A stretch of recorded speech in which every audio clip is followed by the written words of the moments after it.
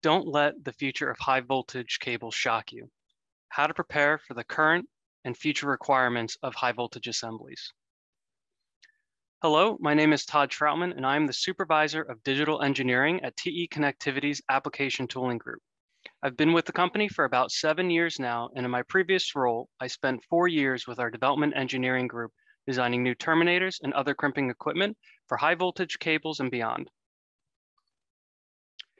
So large cables are have been around for a while and they have their own complexities that are brought due to their market demands and then also just their, their difficulty in how they're constructed.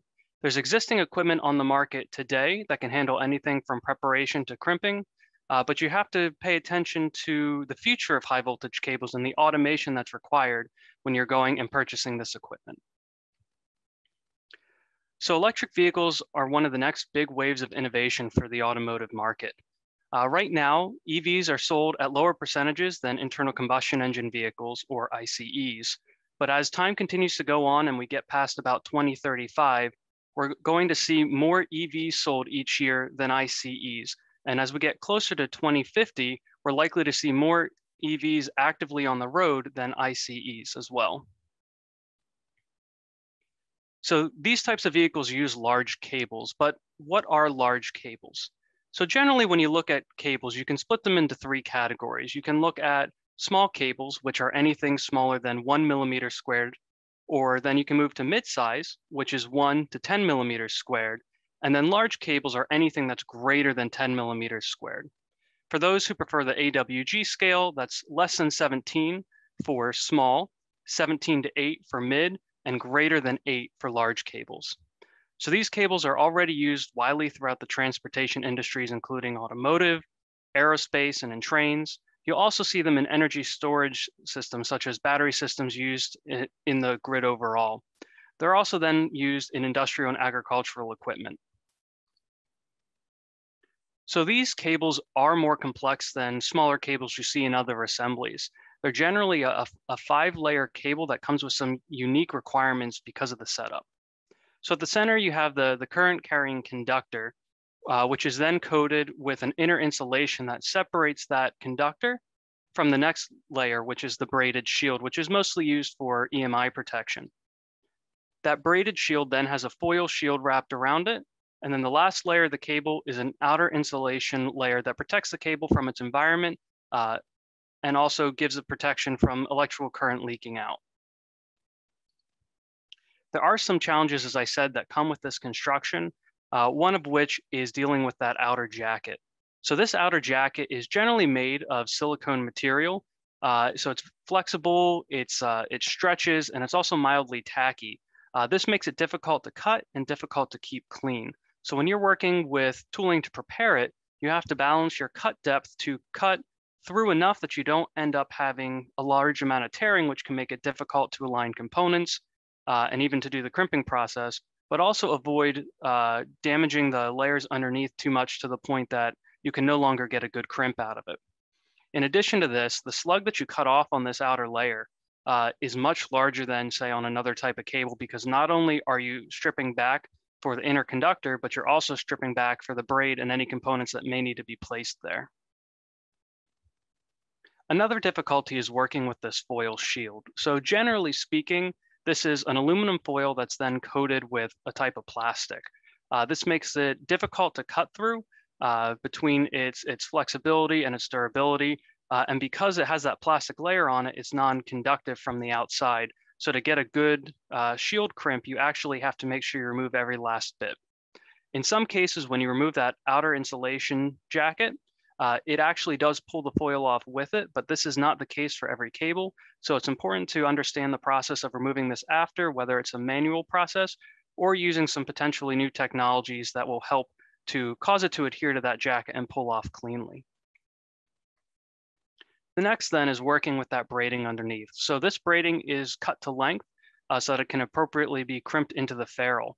When doing this cut, uh, the backing material is only that soft insulation of the, of the inner insulation layer.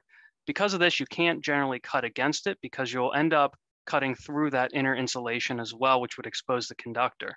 So what you have to do is generally use some equipment. You either have to snip around or use equipment such as our HVCP that gives a hard backing for blades to come around and cut and get a clean cut. If you don't cut it cleanly, you can kind of get this smearing effect, which causes uh, small pieces that are easy to flake off in the assembly, which can short out uh, a cable assembly once it's installed in the field. And seeing how many of these cables operate at 600, 800 or volts or more, it's really important to avoid any, any loose metal that could end up causing a short. In addition with this braiding then, it does have to be folded out and flared.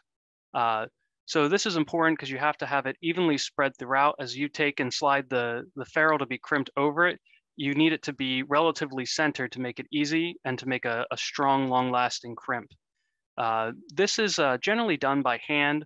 Uh, it's a little bit of a time-consuming process, and it also does require finger protection. These individual strands after being cut can be relatively sharp, so to prevent operators from having them cut into their fingers, you generally need to have some sort of protection, whether it's tape or other device.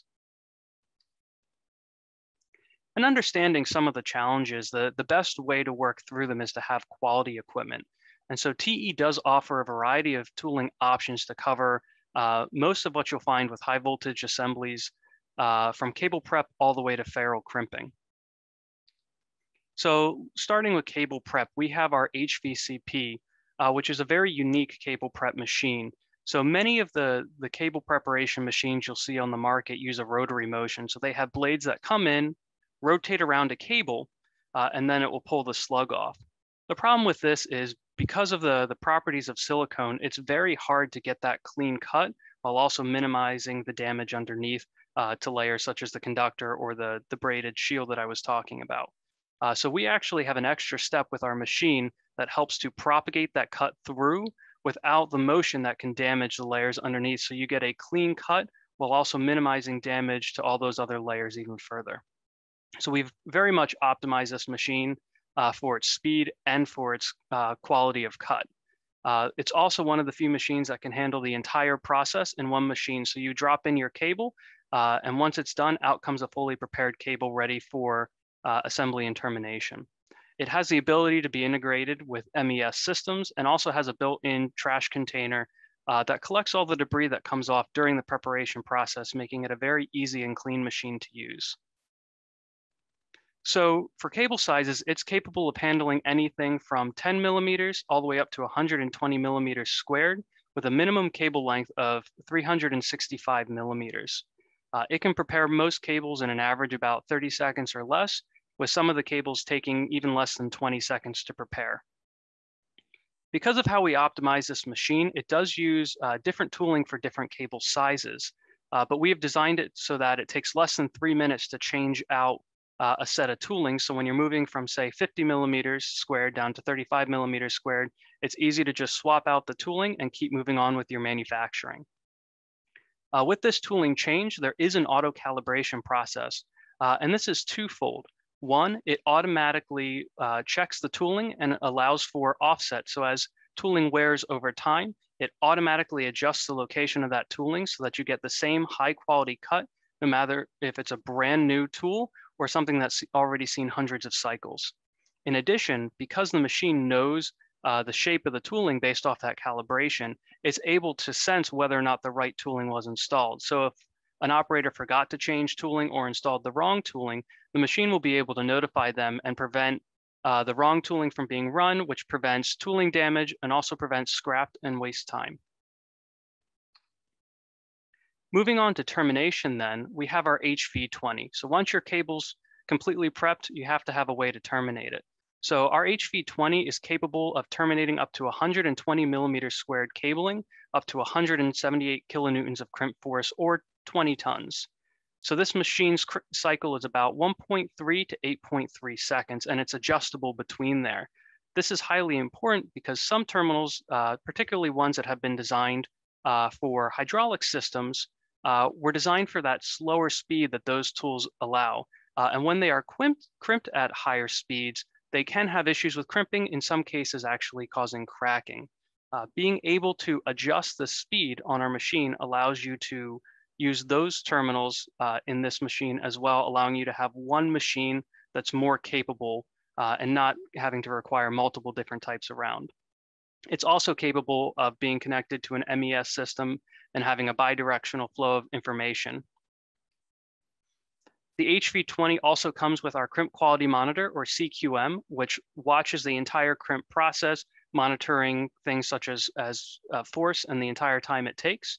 And this allows the machine to detect if there are any issues with the crimp, uh, allowing to you to set a crimp height value that it's watching for. So say, you know, maybe the cable was inserted too far and you got insulation into the wire barrel, or there were some strands that were missing, maybe you accidentally cut off a large number of strands, it will be able to detect that depending on the assembly setup and uh, notify the operator that there was an issue so that uh, possibly poor crimp doesn't go to a customer.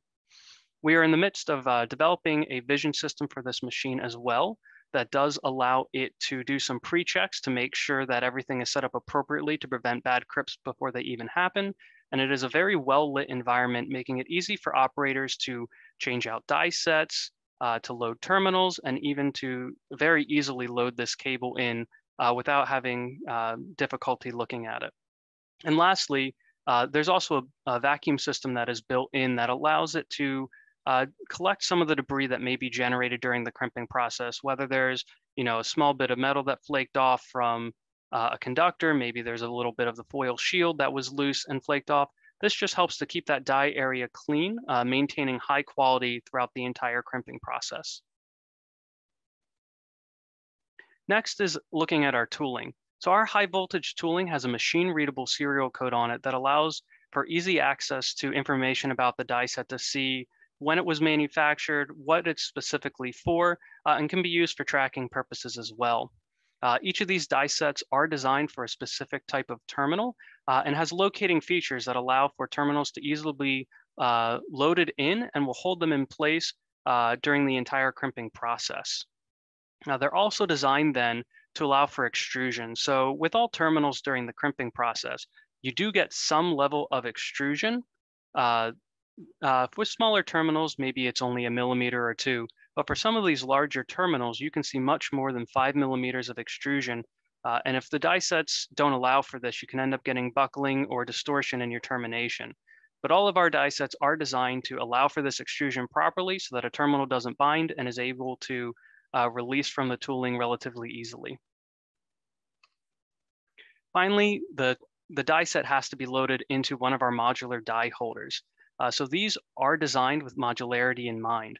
So they have a, a, fine adjust on the top that allows for over two and a half millimeters of adjustment uh, that's highly repeatable. So even as you're changing out different die sets from one of these, you can remember, okay, die set X was always run at D4. So when you load it back in, you can set it to D4, confirm it with a quick crimp height measurement, and not have to necessarily go through as long of a dialing in process for that particular termination before you're up and running again.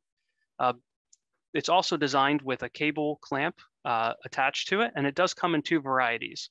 One is a manual cable clamp where you just place the cable in and you pull up the latch on the other side.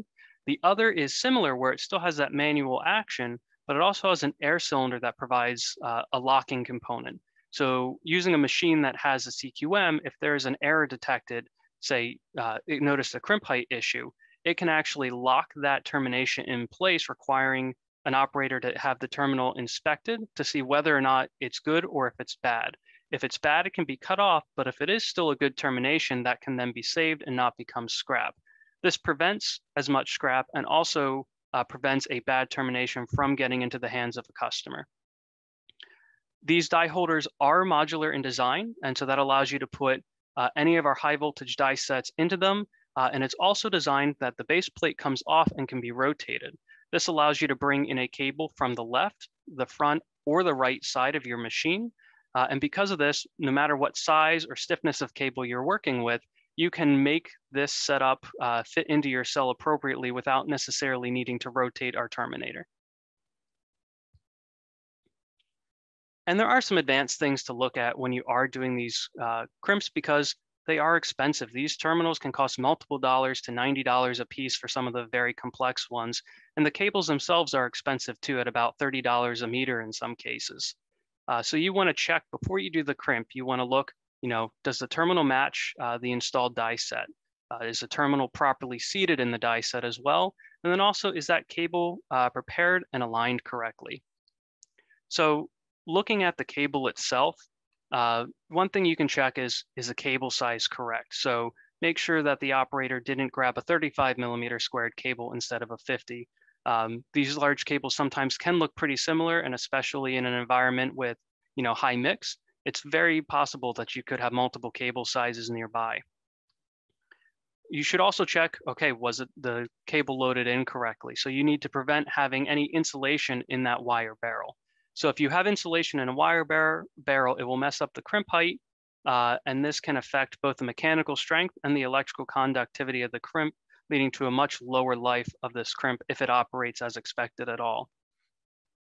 So there's also the wire brush aspect. So if you end up with insulation in the, the wire barrel, there's also a good chance that you'll have too long of a wire brush out front. And so too long of a wire brush can end up causing difficulties with assembly of this termination uh, in its final, uh, final assembly. Uh, but having too little can also mean you didn't get enough of the cable inside that wire barrel to make an appropriate crimp, leading to difficulties as well. And then also there's making sure the cable was prepared correctly. Uh, so one of the simplest things to look at is the strip length, making sure that that uh, length is appropriate, and that's going to affect whether or not you get insulation and appropriate wire bus brush as well. So all of these things can be checked by an operator. Uh, you can have them check each step of the process every time, but operators do get tired. Uh, good operators do make mistakes from time to time. Uh, so it's very important to have some sort of system that can do this check automatically, such as a vision system that can confirm all this and even lock out the machine uh, before it even gets started, uh, preventing bad crimps from, from happening and a wasted time and potential for poor quality terminations to get out the door as well.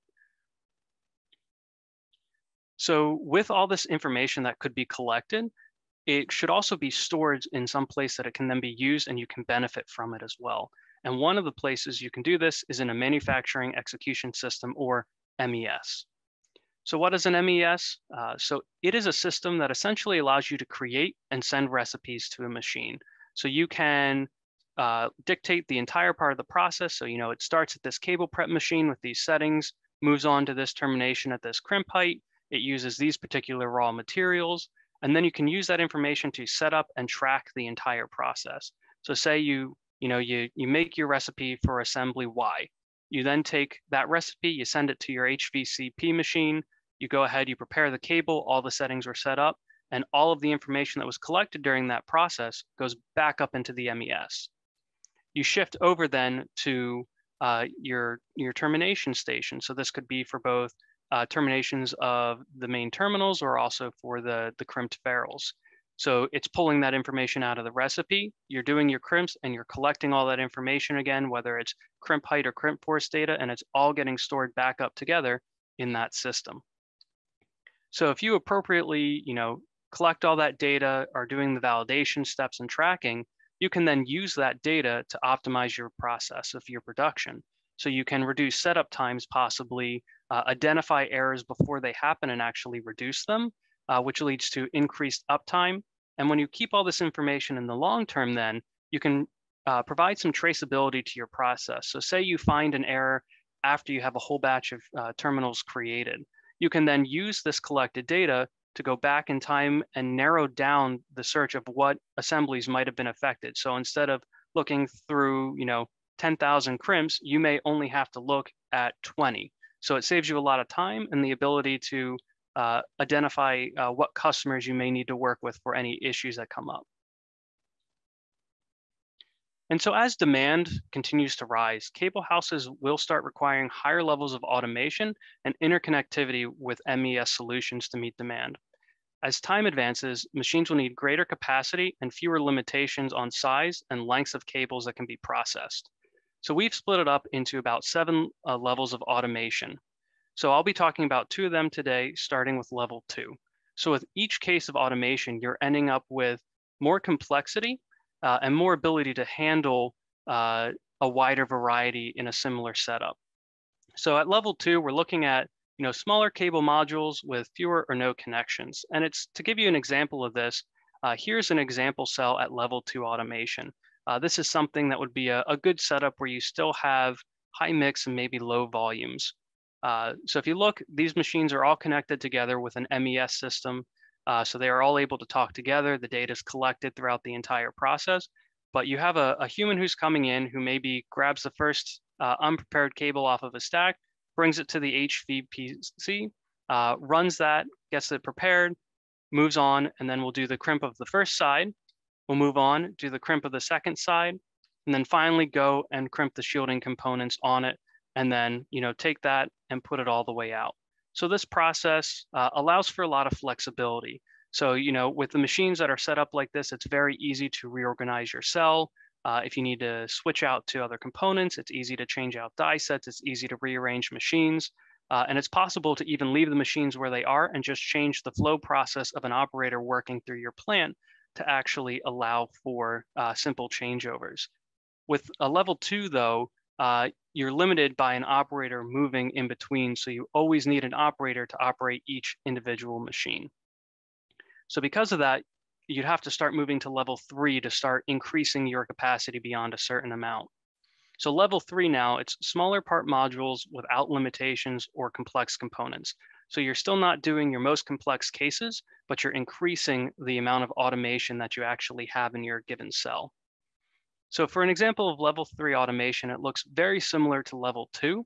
You still have a human bringing in cables and a human taking prepared assemblies out, but in the process itself, your machines are now connected to a production line control system, and there's automated components to move uh, the cable through all levels of assembly. So there's a, a robot arm that's actually putting the cable into the HVCP and then pulling it out and dropping it into a linear transport, for example, that then takes it to each step in the process and allows for a fully prepared cable to come out at the end.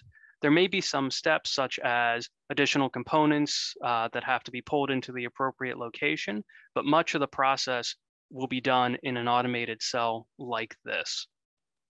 So keeping this in mind, you know, level two and three are just the beginning of it. There's still all those levels at the end. So as you're looking for machines, you want to make sure you're you're buying equipment that has had uh, forethought into what comes next. You want to buy machines that are fully capable with bidirectional MES systems. You want to buy machines that are able to be integrated into larger cells. So that way, when you start moving to these future levels, you don't have to scrap the machines you have today but you can just retool them, maybe update them and place them into more advanced cells in the future, allowing you to extend the useful life of the investments that you already have.